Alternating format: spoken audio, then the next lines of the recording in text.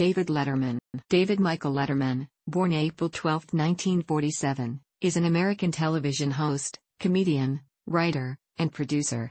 He hosted late-night television talk shows for 33 years, beginning with the February 1, 1982, debut of Late Night with David Letterman on NBC, and ending with the May 20, 2015, broadcast of Late Show with David Letterman on CBS. In total, Letterman hosted 6,028 episodes of Late Night and Late Show, surpassing friend and mentor Johnny Carson as longest serving late night talk show host in American television history. In 1996, Letterman was ranked 45th on TV Guide's 50 Greatest TV Stars of All Time. In 2002, The Late Show with David Letterman was ranked 7th on TV Guide's 50 Greatest TV Shows of All Time.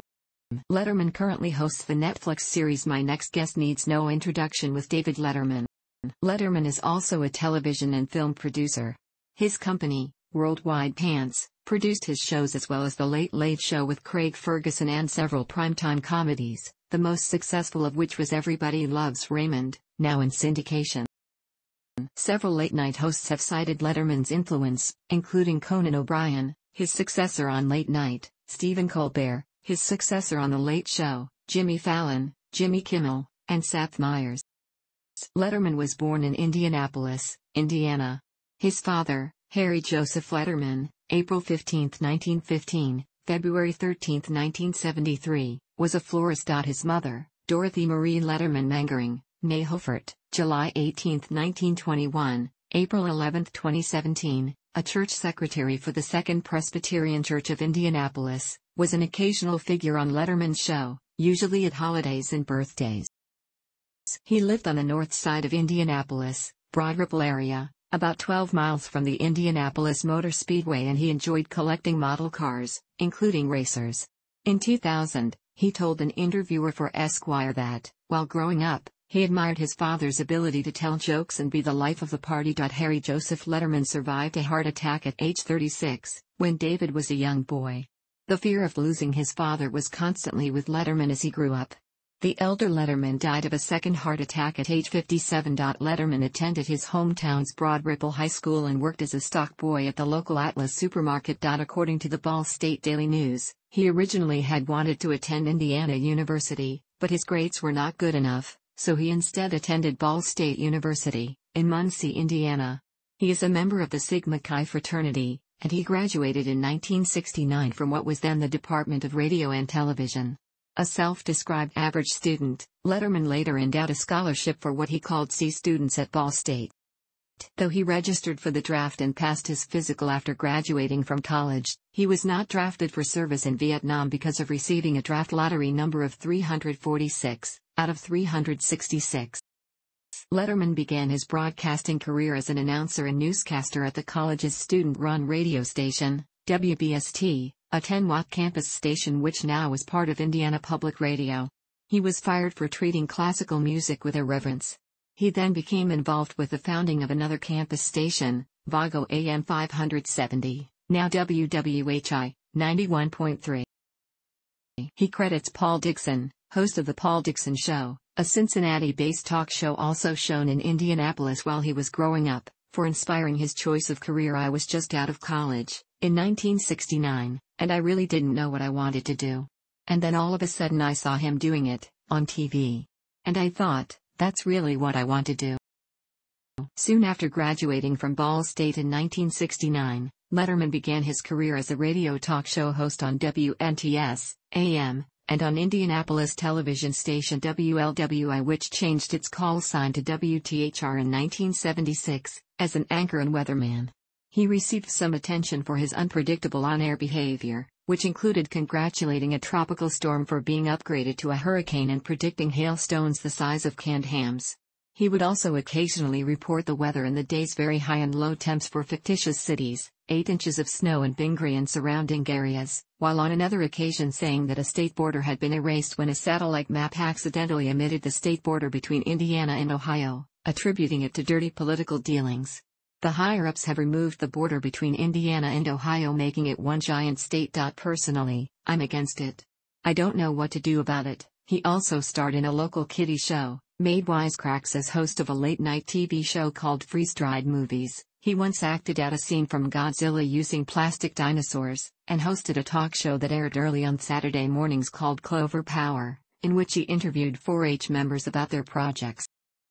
In 1971 Letterman appeared as a pit road reporter for ABC Sports tape delay coverage of the Indianapolis 500, his first nationally telecast appearance, Hawaii was the local ABC affiliate at the time. Letterman was initially introduced as Chris Economaki, although this was corrected at the end of the interview. Jim McKay announced his name as Dave Letterman. Letterman interviewed Mario Andretti, who had just crashed out of the race. In 1975, encouraged by his then wife Michelle and several of his Sigma Chi fraternity brothers, Letterman moved to Los Angeles, with hope of becoming a comedy writer. He and Michelle packed their belongings in his pickup truck and headed west. As of 2012, he still owned the truck. In Los Angeles, he began performing comedy at the Comedy Store. Jimmie Walker saw him on stage, with an endorsement from George Miller. Letterman joined a group of comedians whom Walker hired to write jokes for his stand up act, a group that at various times would also include Jay Leno, Paul Mooney, Robert Schimmel, Richard Jeni, Louie Anderson, Elayne Boosler, Byron Allen, Jack Handey, and Steve Oedekerk. By the summer of 1977, Letterman was a writer and regular on the six-week summer series The Starland Vocal Band Show. Broadcast on CBS he hosted a 1977 pilot for a game show entitled The Riddlers, that was never picked up, and co-starred in the Barry Levinson-produced comedy special Peeping Times that aired in January 1978. Later that year, Letterman was a cast member on Mary Tyler Moore's variety show, Mary. Letterman made a guest appearance on Mork and Mindy, as a parody of EST leader Werner Erhard and appearances on game shows such as The $20,000 Pyramid, The Gong Show, Hollywood Squares, Password Plus and Liars Club, as well as the Canadian cooking show Celebrity Cooks, November 1977, talk shows such as 90 Minutes Live, February 24 and April 14, 1978, and The Mike Douglas Show, April 3, 1979 and February 7, 1980. He was also screen tested for the lead role in the 1980 film Airplane, a role that eventually went to Robert Hays. His dry, sarcastic humor caught the attention of scouts for The Tonight Show starring Johnny Carson, and Letterman was soon a regular guest on the show. Letterman became a favorite of Carson and was a regular guest host for the show beginning in 1978. Letterman credits Carson as the person who influenced his career the most. On June 23, 1980, Letterman was given his own morning comedy show on NBC, The David Letterman Show. It was originally 90 minutes long, but was shortened to 60 minutes in August 1980.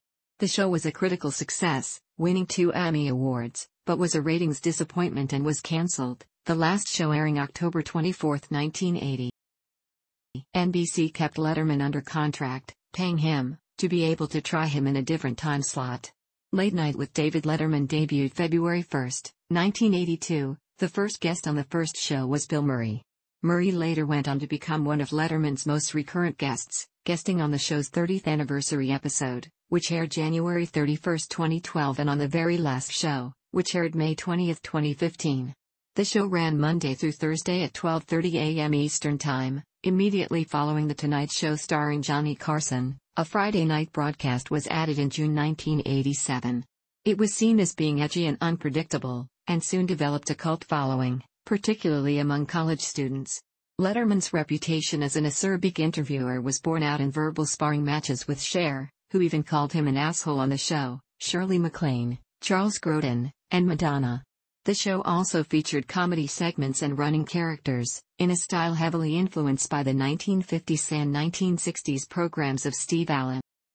The show often featured quirky, genre mocking regular features, including stupid pet tricks, which had its origins on Letterman's morning show, Stupid Human Tricks, dropping various objects off the roof of a five story building, demonstrations of unorthodox clothing, such as suits made of Alka Seltzer, Velcro, and suet, a recurring top 10 list, the monkey cam, and the audience cam, a facetious letter answering segment, several films, by My Dog Bob, in which a camera was mounted on Letterman's own dog, often with comic results, and small town news, all of which would eventually move with Letterman to CBS.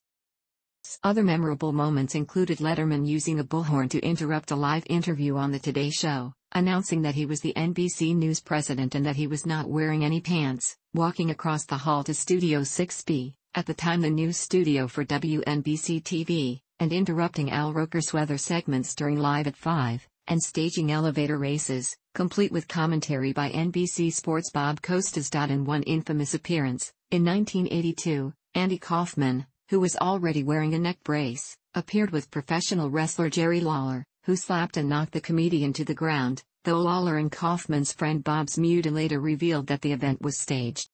In 1992, Johnny Carson retired, and many fans believed that Letterman would become host of The Tonight Show. When NBC instead gave the job to Jay Leno, Letterman departed NBC to host his own late-night show on CBS, opposite The Tonight Show at 11.30 p.m., called The Late Show with David Letterman.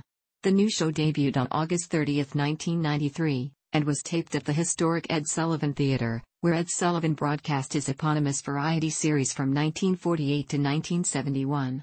For Letterman's arrival, CBS spent million in renovations. In addition to that cost, CBS also signed Letterman to a lucrative three-year, million-slash-year contract, doubling his late-night salary. The total cost for everything, renovations, negotiation right paid to NBC, signing Letterman, announcer Bill Wendell, Paul Shaffer, the writers and the band was over million.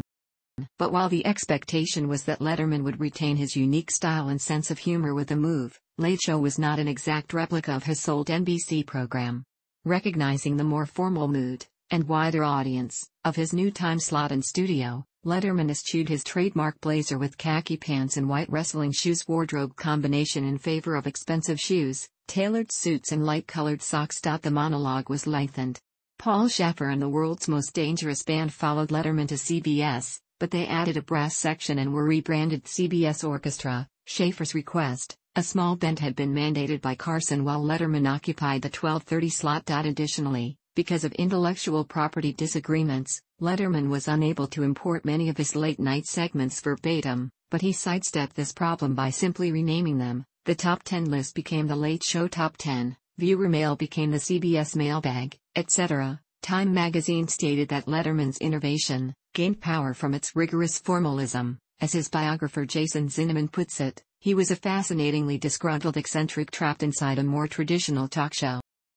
The main competitor of The Late Show was NBC's The Tonight Show, which was hosted by Jay Leno for 22 years, but from June 1, 2009, to January 22, 2010, was hosted by Conan O'Brien. In 1993 and 1994, The Late Show consistently gained higher ratings than The Tonight Show. But in 1995, Ratings tipped and Leno's show consistently beat Letterman's in the ratings from the time that Hugh Grant came on Leno's show after Grant's arrest for soliciting a prostitute. Leno typically attracted about 5 million nightly viewers between 1999 and 2009. The Late Show lost nearly half its audience during its competition with Leno, attracting 7.1 million viewers nightly in its 1993-94 season and about 3.8 million per night as of Leno's departure in 2009. In the final months of his first stint as host of The Tonight Show, Leno beat Letterman in the ratings by a 1.3 million viewer margin, 5.2 million to 3.9 million, and Nightline and The Late Show were virtually tied. Once O'Brien took over Tonight, however, Letterman closed the gap in ratings. O'Brien initially drove the median age of Tonight Show viewers from 55 to 45, with most older viewers opting to watch The Late Show instead. Following Leno's return to The Tonight Show, however, Leno regained his lead. Letterman's shows have garnered both critical and industry praise, receiving 67 Emmy Award nominations, winning 12 times in his first 20 years in late night television. From 1993 to 2009, Letterman ranked higher than Leno in the annual Harris poll of nation's favorite TV personality 12 times. For example, in 2003 and 2004 Letterman ranked second in that poll, behind only Oprah Winfrey, a year that Leno was ranked fifth. Leno was higher than Letterman on that poll three times during the same period, in 1998, 2007, and 2008. On March 27, 1995, Letterman acted as the host for the 67th Academy Award ceremony. Critics blasted Letterman for what they deemed a poor hosting off Oscars, noting that his irreverent style undermined the traditional importance and glamour of the event. In a joke about their unusual names, inspired by a celebrated comic essay in The New Yorker, Uma Dream by Thomas Meehan, he started off by introducing Uma Thurman to Oprah Winfrey, and then both of them to Keanu Reeves. Oprah, Uma. Uma, Oprah, have you kids met Keanu? This and many of his other jokes fell flat. Although Letterman attracted the highest ratings to the annual telecast since 1983, many felt that the bad publicity garnered by Letterman's hosting caused a decline in the late show's ratings. Letterman recycled the apparent debacle into a long running gag. On his first show after the Oscars, he joked, Looking back, I had no idea that thing was being televised. He lampooned his stint two years later, during Billy Crystal's opening Oscar skit, which also parodied the plane crashing scenes from that year's TIFF-nominated film, The English Patient. For years afterward, Letterman recounted his hosting the Oscars, although the Academy of Motion Picture Arts and Sciences continued to hold Letterman in high regard and they had invited him to host the Oscars again. On September 7, 2010, he made an appearance on the premiere of the 14th season of The View, and confirmed that he had been considered for hosting again. On January 14, 2000, a routine checkup revealed that an artery in Letterman's heart was severely obstructed. He was rushed to emergency surgery for a quintuple bypass.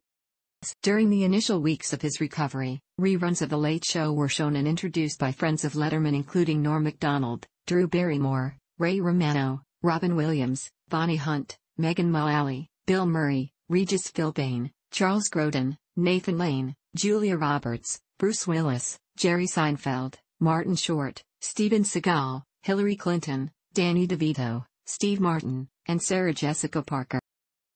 Subsequently, while still recovering from surgery, Letterman revived the late night tradition that had virtually disappeared on network television during the 1990s of guest hosts by allowing Bill Cosby, Kathie Lee Gifford, Dana Carvey, Janeane Garofalo, and others to host new episodes of The Late Show.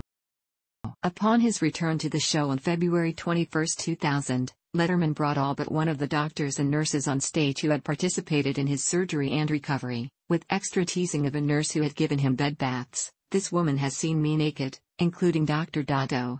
Wayne Isom and physician Louis Aronne, who frequently appeared on the show. In a show of emotion, Letterman was nearly in tears as he thanked the healthcare team with the words These are the people who saved my life. The episode earned an Emmy nomination. For a number of episodes, Letterman continued to crack jokes about his bypass, including saying, Bypass surgery, it's when doctors surgically create new blood flow to your heart. A bypass is what happened to me when I didn't get the Tonight Show. It's a whole different thing. In a later running gag, he lobbied his home state of Indiana to rename the freeway circling Indianapolis, I-465, the David Letterman bypass. He also featured a montage of faux news coverage of his bypass surgery, which included a clip of Letterman's heart for sale on the home shopping network. Letterman became friends with his doctors and nurses. In 2008, a Rolling Stone interview stated he hosted a doctor and nurse who'd helped perform the emergency quintuple bypass heart surgery that saved his life in 2000.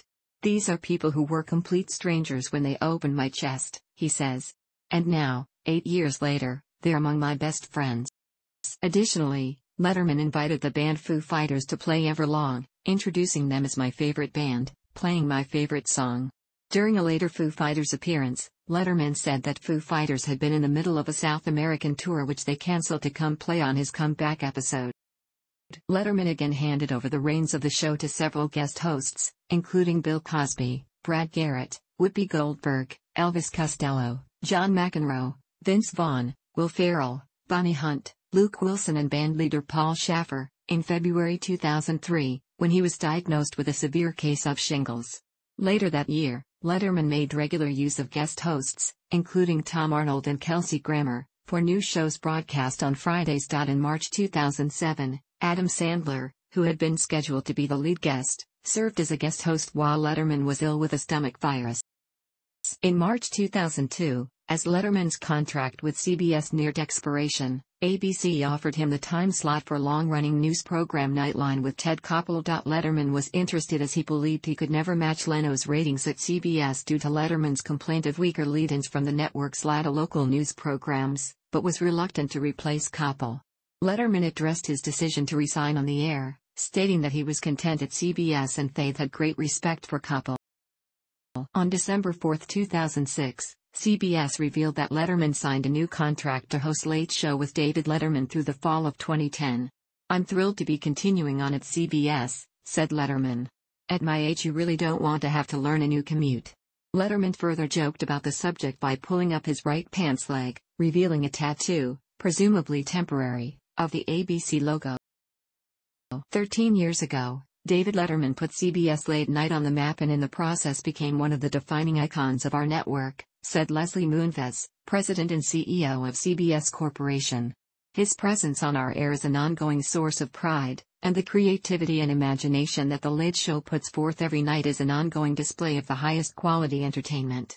We are truly honored that one of the most revered and talented entertainers of our time will continue to call CBS home.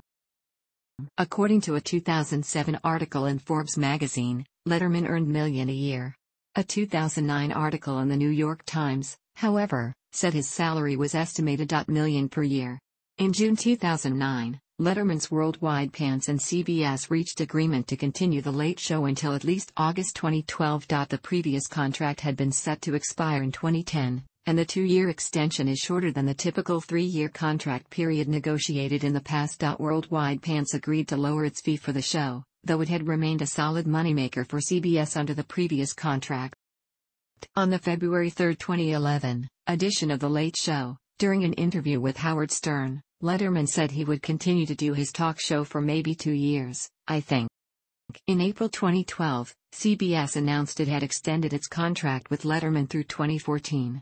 His contract was subsequently extended to 2015. During the taping of his April 3, 2014, show, Letterman announced that he had informed CBS President Leslie Moonves that he would retire from hosting Late Show by May 20, 2015. It was announced soon after that comedian and political satirist Stephen Colbert would succeed Letterman. Letterman's last episode aired on May 20, 2015, and opened with a presidential send-off featuring four of the five living American presidents, George H.W. Bush, Bill Clinton, George W. Bush and Barack Obama, each mimicking the late President Gerald Ford's statement that our long national nightmare is over. It also featured cameos from The Simpsons and Wheel of Fortune, the latter with a puzzle saying good riddance to David Letterman, a top 10 list of things I wish I could have said to David Letterman performed by regular guests including Alec Baldwin, Barbara Walters, Steve Martin, Jerry Seinfeld, Jim Carrey, Chris Rock, Julia Louis-Dreyfus, Peyton Manning, Tina Fey, and Bill Murray, and closed with a montage of scenes from both his CBS and NBC series set to a live performance of Everlong by Foo Fighters. The final episode of Late Show with David Letterman was watched by 13.76 million viewers in the United States with an audience share of 9.324 earning the show its highest rating since following the 1994 Olympics on February 25, 1994, and the show's highest demo numbers, 4.1 in adults 25 to 54 and 3.1 in adults 18 to 49, since Oprah Winfrey's first late show appearance following the ending of her feud with Letterman on December 1, 2005. Bill Murray, who had been his first guest on Late Night, was his final guest on Late Show. In a rarity for a late night show, it was also the highest rated program on network television that night, beating out all primetime shows. In total, Letterman hosted 6,028 episodes of Late Night and Late Show, surpassing friend and mentor Johnny Carson as the longest serving late night talk show host in American television history. In the months following the end of Late Show, Letterman has been seen occasionally at sports events such as the Indianapolis 500, during which he submitted to an interview with a local publication. He made a surprise appearance on stage in San Antonio, Texas when he was invited up for an extended segment during Steve Martin and Martin Short's A Very Stupid Conversation show saying I retired, and, I have no regrets, Letterman told the crowd after walking on stage. I was happy. I'll make actual friends. I was complacent. I was satisfied. I was content, and then a couple of days ago Donald Trump said he was running for president. I have made the biggest mistake of my life, ladies and gentlemen, and then delivering a top 10 list roasting Donald Trump's presidential campaign, followed by an onstage conversation with Martin and Short. Cell phone recordings of the appearance were posted on YouTube by audience members and were widely reported in the media. In 2016, Letterman joined the climate change documentary show Years of Living Dangerously as one of the show's celebrity correspondents. In season 2's premiere episode, Letterman traveled to India to investigate the country's efforts to expand its inadequate energy grid, power its booming economy, and bring electricity for the first time to 300 million citizens. He also interviewed Indian Prime Minister Narendra Modi, and traveled to rural villages where power is a scarce luxury and explored the United States' role in India's energy future. On April 7, 2017, Letterman gave the induction speech for the band Pearl Jam into the Rock and Roll Hall of Fame at a ceremony held at the Barclays Center in Brooklyn, New York City. Also in 2017, Letterman and Alec Baldwin co-hosted The Essentials on Turner Classic Movies. Letterman and Baldwin introduced seven films for the series. In 2018, Letterman has been hosting a six-episode monthly series of hour-long programs on Netflix consisting of long-form interviews and field segments. The show, My Next Guest Needs No Introduction with David Letterman, premiered January 12, 2018, featuring Barack Obama. In spite of Johnny Carson's clear intention to pass his title to Letterman, NBC selected Jay Leno to host The Tonight Show after Carson's departure. Letterman maintained a close relationship with Carson through his break with NBC. Three years after he left for CBS, HBO produced a made-for-television movie called The Late Shift, based on a book by the New York Times reporter Bill Carter, chronicling the battle between Letterman and Leno for the coveted Tonight Show hosting spot. Carson later made a few cameo appearances as a guest on Letterman's show.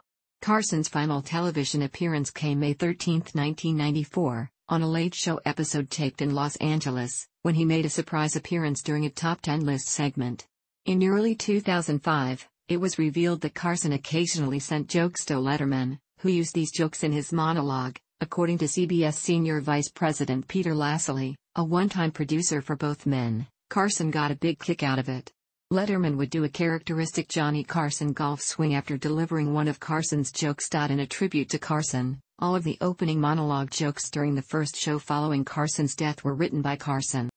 Lassally also claimed that Carson had always believed Letterman, not Leno, to be his rightful successor. During the early years of the Late Show's run, Letterman occasionally used some of Carson's trademark bits, including Carnac the Magnificent, with Paul Shaffer as Carnac, Stump the Band, and The Week in Review. Oprah Winfrey appeared on Letterman's show when he was hosting NBC's Late Night on May 2, 1989. Following that appearance, the two had a 16-year feud which arose, as Winfrey explained to Letterman after the feud had been resolved, as a result of the acerbic tone of their 1989 interview of which she said that it felt so uncomfortable to me that I didn't want to have that experience again. The feud apparently ended in 2005 when Winfrey appeared on CBS's Late Show with David Letterman on December 2, in an event Letterman jokingly referred to as the Super Bowl of Love. Winfrey and Letterman also appeared together in a late show promo that aired during CBS's coverage of Super Bowl 41 in February 2007, with the two sitting next to each other on the couch watching the game. Since the game was played between the Indianapolis Colts and Chicago Bears, the Indianapolis-born Letterman wears a Peyton Manning jersey, while Winfrey, whose show was taped in Chicago, wears a Brian Urlacher jersey. On September 10, 2007, Letterman made his first appearance on The Oprah Winfrey Show at Madison Square Garden in New York City. Three years later, during CBS's coverage of Super Bowl 44, the two appeared again in a late show promo, this time with Winfrey sitting on a couch between Letterman and Jay Leno. This time Letterman was wearing the retired 70 jersey of Colts Hall of Fame and Letterman regular guest, Art Donovan. The Colts faced the New Orleans Saints in this Super Bowl. The appearance was Letterman's idea, Leno flew to New York City on an NBC corporate jet, sneaking into the Ed Sullivan Theater during the Late Show's February 4 taping wearing a disguise, meeting Winfrey and Letterman at a living room set created in the theater's balcony where they taped their promo. Winfrey interviewed Letterman in January 2013 on Oprah's Next Chapter. Winfrey and Letterman discussed their feud during the interview and Winfrey revealed that she had had a terrible experience while appearing on Letterman's show years earlier. Letterman could not recall the incident but apologized.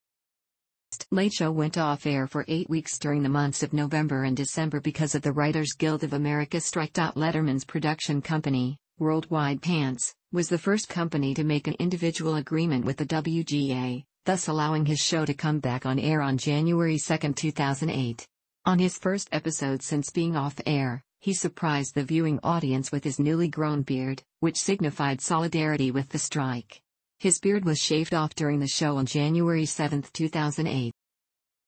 On June 8 and 9, 2009, Letterman told two sexually themed jokes about a daughter, never named, of Sarah Palin on his TV show. Palin was in New York City at the time with her then 14 year old daughter, Willow, and some contemporaries thought the jokes to be aimed at Willow, which caused some small amount of controversy. In a statement posted on the internet, Palin said, I doubt, Letterman would, ever dare make such comments about anyone else's daughter and that laughter incited by sexually perverted comments made by a 62-year-old male celebrity aimed at a 14-year-old girl is disgusting. On his show of June 10, Letterman responded to the controversy, saying the jokes were meant to be about Palin's 18-year-old daughter, Bristol, whose pregnancy as an unmarried teenager had caused some controversy during the United States presidential election of 2008. These are not jokes made about Palin's 14 year old daughter. I would never, never make jokes about raping or having sex of any description with a 14 year old girl. His remarks did not put an end to public criticism, however. The National Organization for Women, NOW, released a statement supporting Palin, noting that Letterman had made, only, something of an apology. When the controversy failed to subside, Letterman addressed the issue again on his show off June 15 faulting himself for the error and apologizing especially to the two daughters involved, Bristol and Willow, and also to the governor and her family and everybody else who was outraged by the joke. On August 17, 2011, it was reported that an Islamist militant had posted a death threat against Letterman on a website frequented by Al Qaeda supporters, calling on American Muslims to kill Letterman for making a joke about the death of an Al Qaeda leader, killed in a drone strike in Pakistan in June 2011, Ilyas Kashmiri.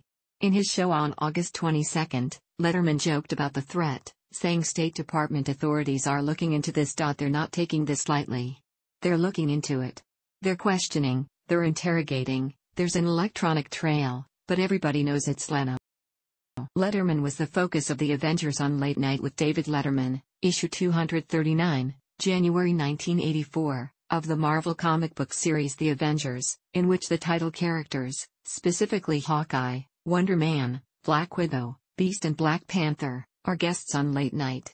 A parody of Letterman, named David Endochrine, is gassed to death along with his band leader named Paul and their audience in Frank Miller's The Dark Knight Returns. In, Letterman was parodied as David Litterman. Letterman appeared in the pilot episode of the short-lived 1986 series Coach Toast, and he appears with a bag over his head as a guest on Bonnie Hunt's 1990 sitcom, The Building. He appeared in The Simpsons as himself in a couch gag when The Simpsons find themselves, and the couch, in Late Night with David Letterman.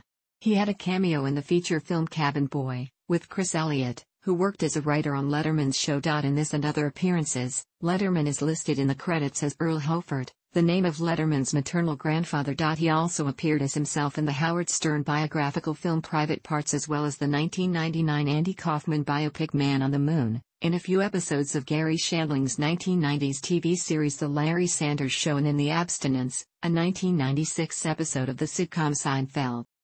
Letterman provided vocals for the Warren Zevon song hit Somebody for My Rides Here, and provided the voice for Butthead's father in the 1996 animated film Beavis and Butthead Do America, once again credited as Earl Hofert. In 2010, a documentary Dying to Do Letterman was released directed by Joke Fincioen and Biagio Messina featuring Steve Mazan, a stand-up comic, who has cancer and wants to appear on The Letterman Show. The film won Best Documentary and Jury Awards at the Cinequest Film Festival. Steve Mazan published a same-titled book, full title, Dying to Do Letterman, Turning Someday into Today, about his own saga. Letterman appeared as a guest on CNN's Piers Morgan Tonight on May 29, 2012, when he was interviewed by Regis Philbin, the guest host and longtime friend. Philbin again interviewed Letterman and Shaffer, while guest hosting CBS The Late Late Show, between the tenures of Craig Ferguson and James Corden, on January 27, 2015. In June 2013, he appeared in the second episode of season 2 of Comedians in Cars Getting Coffee. On November 5, 2013, Letterman and Bruce McCall published a fiction satire book titled This Land Was Made for You and Me, but mostly me. Letterman started his production company, Worldwide Pants Incorporated, which produced his show and several others, including Everybody Loves Raymond, The Late Late Show and two television series for Bonnie Hunt. Worldwide Pants also produced the dramedy program Ed which aired on NBC from 2000 to 2004. It was Letterman's first association with NBC since he left the network in 1993. During the run of Ed, the star, Tom Cavanagh, appeared as a guest on The Late Show several times. In 2005, Worldwide Pants produced its first feature film, Strangers with Candy, which was a prequel to the Comedy Central TV series of the same title. In 2007, Worldwide Pants produced the ABC comedy series, Nights of Prosperity. Worldwide Pants made significant news in December 2007 when it was announced that Letterman's company had independently negotiated its own contract with the Writers Guild of America, East, thus allowing Letterman, Craig Ferguson, and their writers to return to work, while the union continued its strike against production companies, networks and studios who had not reached an agreement. In late April 2010, several music industry websites reported that Letterman started a record label named Clear Entertainment CE Music and signed his first artist, Runner Runner. Lucy Walsh announced on her MySpace page that she has been signed by Letterman and Clear Entertainment CE Music and is working on her album. Rahal Letterman Lanigan Racing, RLR, is an auto racing team that currently races in the United Sports Car Championship, formerly the American Le Mans Series, and full-time in the Verizon IndyCar Series. It is co-owned by 1986 Indianapolis 500 winner Bobby Rahal, businessman Mike Lanigan, and Letterman himself, and is based in Hilliard, Ohio. The team won the 2004 Indianapolis 500 with driver Buddy Rice. The Letterman Foundation for Courtesy and Grooming is a private foundation through which Letterman has donated millions of dollars to charities and other nonprofits in Indiana and Montana, celebrity affiliated organizations such as Paul Newman's Hole in the Wall Gang Camp, universities such as Ball State, and other organizations such as the American Cancer Society, Salvation Army, and Doctors Without Borders. Letterman's biggest influence and his mentor was Johnny Carson.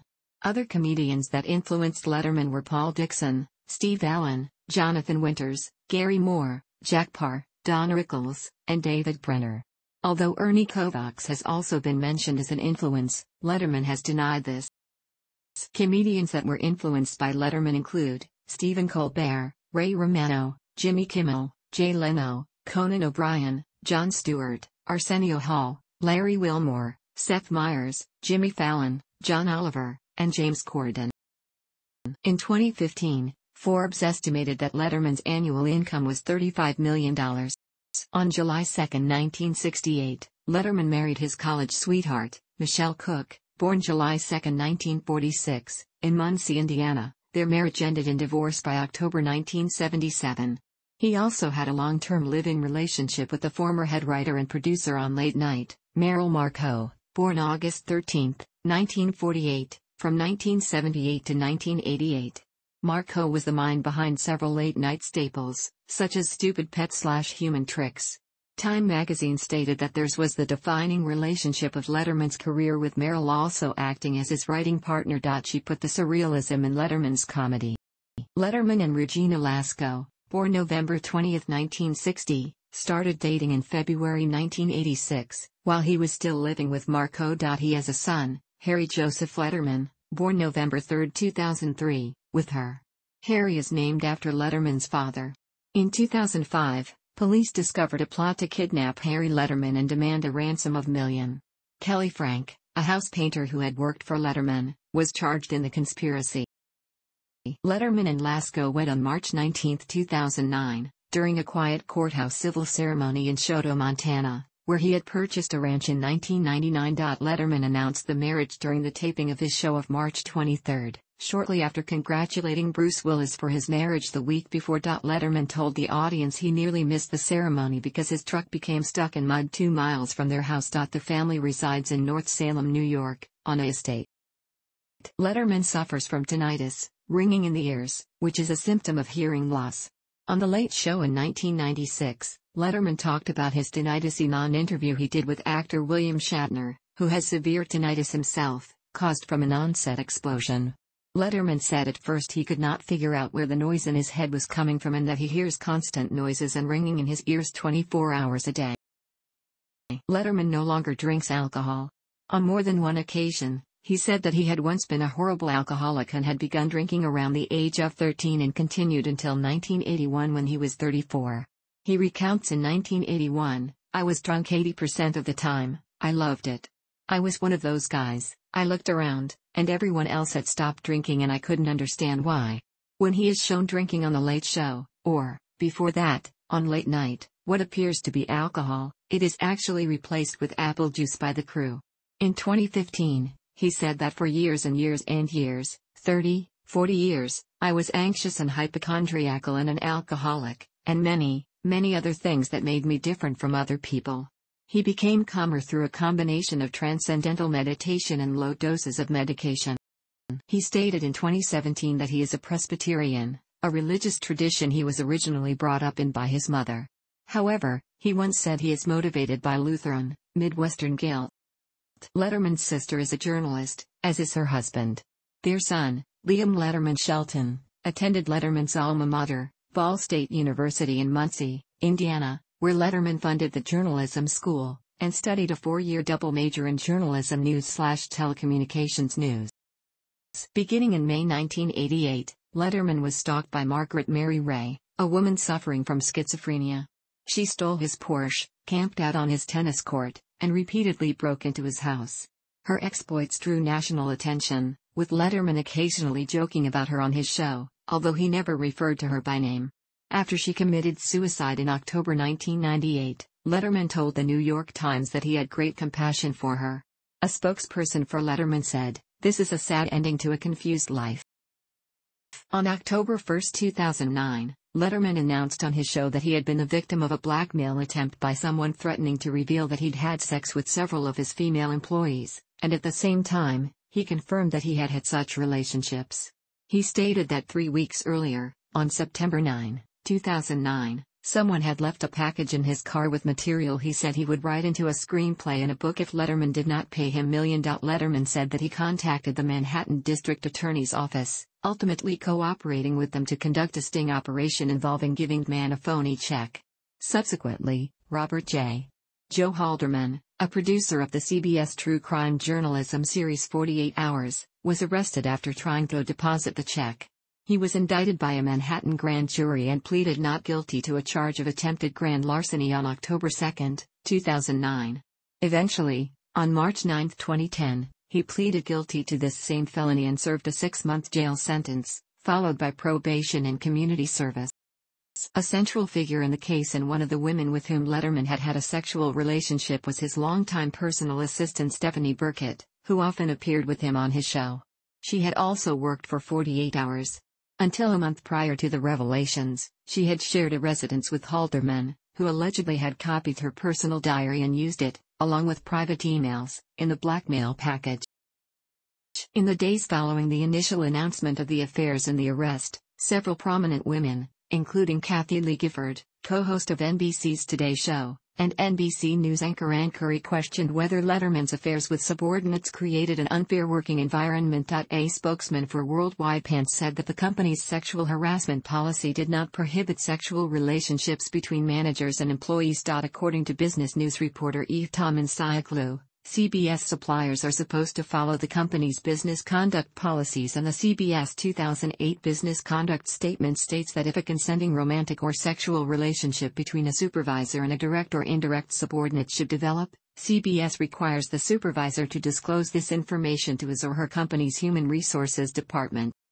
On October 3, 2009, a former CBS employee, Holly Hester, announced that she and Letterman had engaged in a year-long secret affair in the early 1990s while she was his intern and a student at New York University. On October 5, 2009, Letterman devoted a segment of his show to a public apology to his wife and staff. Three days later, Worldwide Pants announced that Birkett had been placed on a paid leave of absence from The Late Show.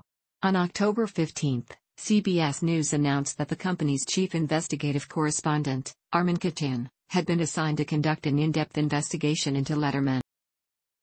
Letterman is a car enthusiast, and owns an extensive collection. In 2012, it was reported that the collection consisted of 10 Ferraris, 8 Porsches, 4 Austin Healey's, 2 Honda motorcycles, a Chevy pickup and one car each from automakers Mercedes-Benz, Jaguar, MG, Volvo, and Pontiac.